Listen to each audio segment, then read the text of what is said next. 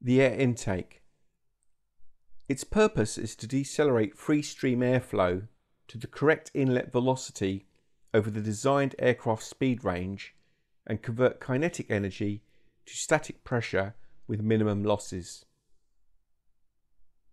The velocity at the compressor inlet should ideally be Mach 0.4 with even pressure distribution across the compressor face at subsonic and supersonic speeds.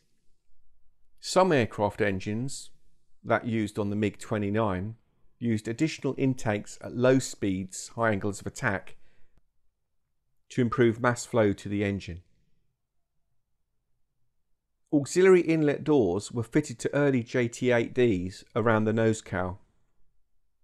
These were spring loaded and opened automatically whenever the pressure differential between inlet and external static pressures was high, i.e., slow speed, high thrust conditions at takeoff to give additional engine air, and closed again as airspeed increased, causing inlet static pressure to rise.